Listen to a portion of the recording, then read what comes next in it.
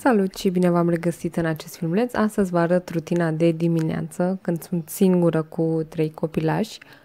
De obicei, primul care se trezește este Daniel, îl alăptez. Uneori adorme foarte repede la loc, alteori trebuie legănat, ținut în brațe, nu-și găsește locul în niciun fel. Sunt și dimineți când se trezește Claudia prima și atunci mergem cu toții la Claudia, adică eu, Daniel și uh, Claudia stăm împreună până unul dintre ei adorme, însă în dimineața de față Claudia a dormit foarte, foarte bine până la 8 dimineața.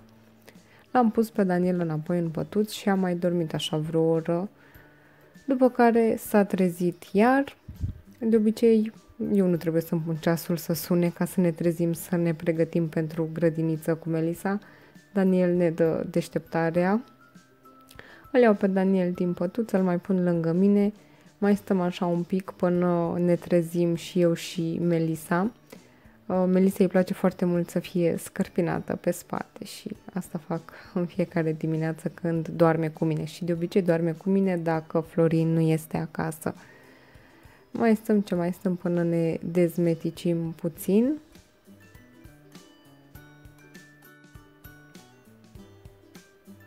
În funcție de când se trezește Daniel, avem la dispoziție cam o oră, o oră și jumătate timp să ne pregătim pentru grădiniță.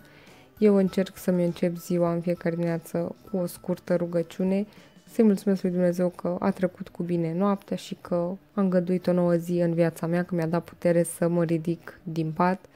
Și asta mă face și pe mine să mă simt mult mai bine, chiar dacă Daniel trage de mine sau da, dar e frumos să te rogi chiar și cu copilașii alături.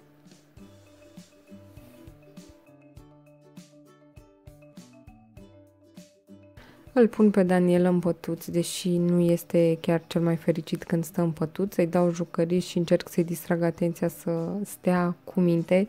În pătuț și în leagăn mi se pare că stă în siguranță, în rest așa mi-e teamă să-l las pe jos când eu cobor. Și acum trebuie să cobor o salut și pe Lili și o poftesc afară să facă și ea un pipi mic pentru că mai durează până ieșim împreună la plimbare. După aceea îi pun și ei apă, mâncare, să aibă tot ce îi trebuie.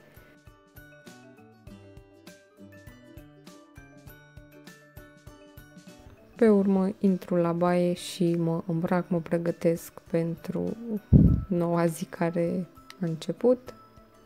Între timp cred că e gata și Lili, o poftesc în casă, îi dau un premiu pentru că a fost cu minte și a făcut pipi afară și ce a mai avut ea nevoie, după care merg la Melisa, împreună negociem cu ce se îmbracă, eu îi spun cu ce aș vrea, ea spune cu ce ar vrea ea și până la urmă ne înțelegem și de comun acord alegem o ținută după care mergem amândouă frumușel la baie și o pregătesc și pe ea de grădiniță.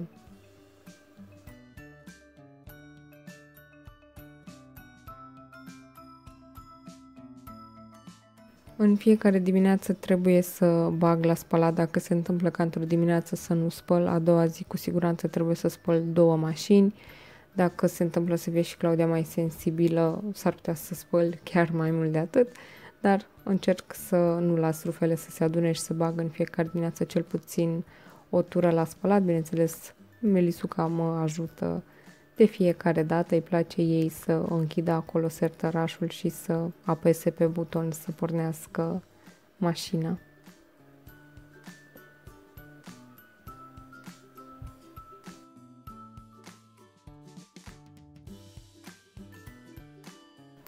Daniel s-a cam plictisit de stat în pătuț, așa că îl scot, îl pun pe păturică, îi dau jucăriile și sper să stea cu minte. Uneori se joacă, dar deja s-a cam plictisit de jucării și pleacă de-a bușilea și trebuie să am grijă să nu se lovească. Eu încerc să aranjez sfatul, uneori mă ajută și Melisa cu ce poate.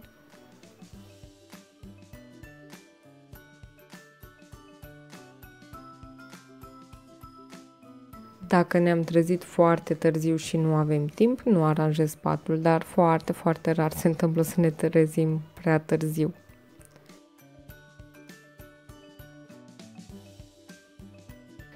Și în fiecare dimineață îmi pun o cană mare cu apă să beau și bea și Melisa cu mine. Bine, îi pun paharul plin, dar bea cam jumătate de pahar. Este foarte important să ne hidratăm și da, bem apă împreună. Melisa e mai de jucării lui Daniel, are grijă de el să fie ocupat.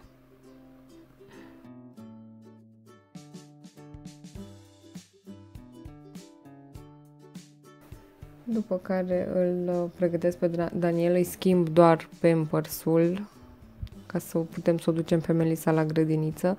Nu îl schimb de tot de hăinuță pentru că el mai doarme o tură și de obicei îl iau așa în pijamale cum, cum s-a trezit așa le iau la grădiniță să o ducem pe Melisa. Dacă se întâmplă să trebuiască să plecăm imediat după grădință sau așa, atunci îl îmbrac, dar dacă nu, rămâne în pijamale și așa nu-l vede nimeni în ham. Dacă le iau cu căruțul, atunci este altă poveste. Am un ham uh, Wrap Thai Mix, se numește de la Poartă-mă, este luat de pe un site din România, se poate purta de când este bebeluș, de pe la vreo lună merge purtat copilul în acest ham și îl port chiar și acum la 10 luni. Îl leg și stă destul de bine în ham și am și eu mâinile libere să pot împinge căruțul pentru că uneori Melisa stă în căruț și bebe uh, Daniel stă în ham. Alteori uh, se întâmplă să-l pun pe Daniel în căruț și Melisa să meargă pe jos. În alte zile, în funcție de cum are chef Melisa, o iau cu tricicleta, na. Zile și zile, în funcție de cum are și ea chef. După ce m-am întors de la grădiniță, o scot pe Lili la plimbare. Ea este foarte fericită când îi arăt hamul, știe ce urmează și nu mai încape de bucurie. Daniel este tot în ham, deja începe așa să se moleșească un pic. O plimbăm puțin pe Lili, de obicei o duc la câmp și o las să alerge acolo 10-15 minute. După care venim acasă, îi pregătesc micul dejun lui Daniel, oricum de când s-a trezit și până acum l-am alertat de cel puțin două ori și pe la ora 9 dimineața, așa aproximativ, îi pregătesc micul dejun și îi dau să mănânce aici și îi fac banană cu avocado și biscuiți, însă micul dejun variază în funcție de ce avem prin casă și este destul de mâncăcios, mănâncă cam orice, dar trebuie să-l las să-i se facă foame. Adică dacă abia l-am alăptat și încerc să-i dau să mănânce, nu o să mănânce cu siguranță. Și un lucru pe care îl fac de fiecare dată după ce îi fac uh, mâncarea lui Daniel, spăl blenderul atunci, pun apă și detergent de vase și îl spăl pe loc ca să nu se întărească mâncarea pe blender, că altfel este mult mai greu de curățat, iar așa se curăță foarte, foarte repede și ușor. Îl costumez pe Daniel, îi dau această cămășuță pe care am cumpărat-o de la Ikea ca să nu se murdărească, dar uneori reușește să se murdărească chiar și cu această cămășuță și mănâncă frumos ce nu apare în filmuleț este că după ce am mâncat îi dau întotdeauna apă să bea. Și bea apă și din pahar, și din uh, sticluță, și din paharul lui special. Depinde ce avem la îndemână, dar bea apă destul de multă.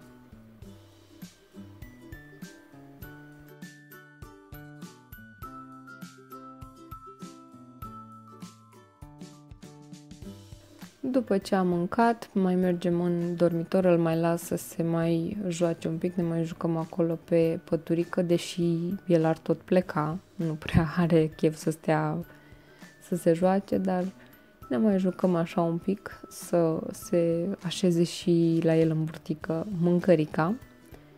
După care, deși știu că nu prea îi place, îl pun în leagăn în leagăn și în pătuț îl știu în siguranță și acum de data asta îl pun în leagăn și merg repede să adun rufele pe care le-am întins, nu știu, cu o zi înainte sau acum două zile, nu mai știu când am spălat, că am filmat acum vreo două săptămâni și nu mai țin exact cum a fost.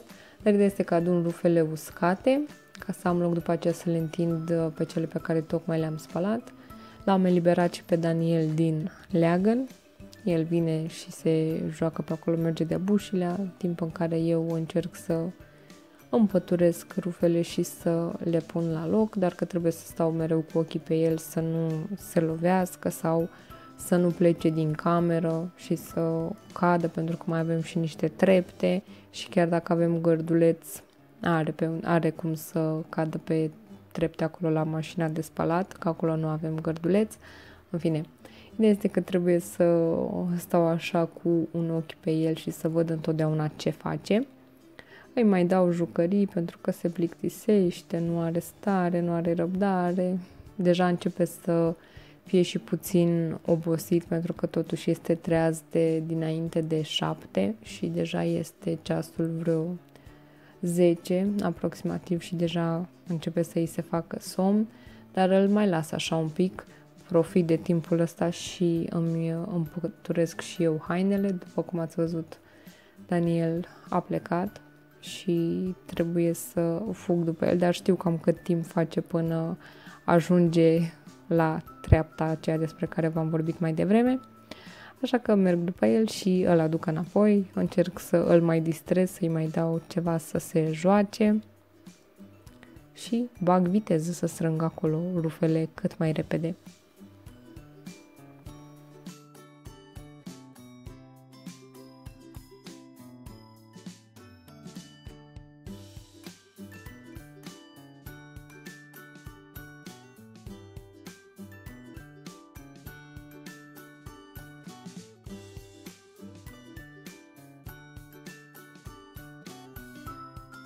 L-am pus pe Daniel iar în leagăn și fug repede să întind rufele pentru că tocmai ce a terminat mașina de spălat.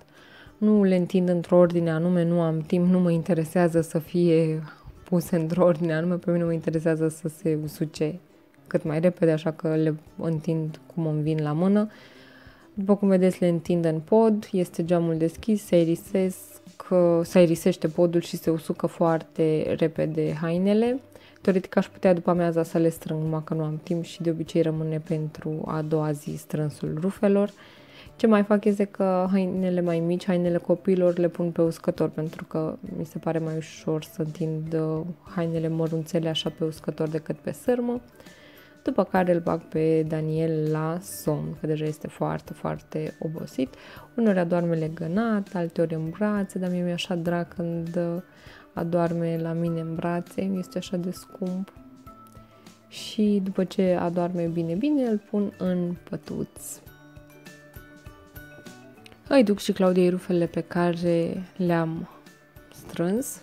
Mai stau de vorbă cu asistenta, ne mai sfătuim, vedem cum se mai simte Claudia, ce putem să mai facem astăzi sau, mă rog, în ziua respectivă, după care merg, îmi fac un uh, cappuccino, bine, și în funcție de ce asistent este la Claudia, uneori bem împreună cappuccino, acesta este cappuccino meu preferat, uh, dar asistenta care a fost uh, la Claudia în acea zi nu bea cappuccino, nu bea cafea în general, așa că a trebuit să beau singurică. Mi-am făcut o, un, un pahar destul de mare de cappuccino, eu de obicei pun două măsuri de praf, pun cam uh, 3 sferturi de pahar uh, de apă, amestec apă fierbinte, bineînțeles, și completez cu puțin lapte, mie așa îmi place să îl beau. După care merg frumușel, mă așez și eu la masă, într-un final, îi mulțumesc lui Dumnezeu pentru mâncare, într-o scurtă rugăciune, după care pot mânca. Ce mai fac eu la masă, deși știu că nu este prea bine, la masă am mai mult timp liber, bine asta în cazul în care nu se trezește Daniel, că uneori se trezește și atunci masa mea se întinde la o oră, o oră și jumătate până reușesc să termin de mâncat. Dar dacă nu se trezește și am câteva minuțele libere, atunci prefer să intru pe internet, să citesc comentarii, să văd ce mai e nou pe Instagram, pe Facebook, pe chestiile astea. Nu prea e recomandat, știu lucrul acesta, dar Cam atunci am și eu câteva minute libere și prefer să fac lucrul acesta. Între timp, asistenta a pregătit-o pe Claudița să iasă la plimbare cu ea. Uh, ies în fiecare zi de două ori, ceea ce este foarte bine. Asistenta este de la 8 la 4 după amiaza și se ocupă strict de Claudia. După ce am terminat de mâncat, îmi strâng vasele le pun în mașina de spălat ca să nu rămână pe masă sau na, prin bucătărie. Și dacă este mașina destul de plină, o și pornesc. Dacă nu, o las și o pornesc de seară. După o masă copioasă este binevenit un desert. Îmi iau desertul și de obicei merg în sufragerie și văd dacă am uh, ceva scrisori, dacă trebuie să sun undeva sau dacă am ceva de făcut în ziua respectivă. Uneori se întâmplă să avem programare să vină medicii la Claudia sau să vină oxigen, oxigen sau na, în funcție de fiecare zi și dacă chiar nu am nimic de făcut, atunci uh, mă apuc să editez un filmuleț, asta în cazul în care doarme Daniel. Profit de timpul acesta liber pe care îl am până se trezește el. După ce se trezește deja este undeva în jurul prânzului, ne mai jucăm un pic, mâncăm și mergem la plimbare, la cumpărături sau unde mai avem noi treabă. Bineînțeles, după cum vedeți, l-am și schimbat de pijama. Și cam asta este rutina noastră de dimineață, cam cu asta mă ocup eu în diminețile în care sunt singură cu copiii. Dar mulțumesc lui Dumnezeu de câteva zile nu mai sunt singură, am ajutor, dar asta puteți vedea în vloguri dacă ne urmăriți, aveți linkul către canalul de vloguri în descriere. Sper că v-a făcut plăcere să urmăriți acest filmuleț. Eu vă mulțumesc tare mult pentru vizionare, vă pup și să ne vedem sănătoși, sănătoase în filmulețul următor. Pa!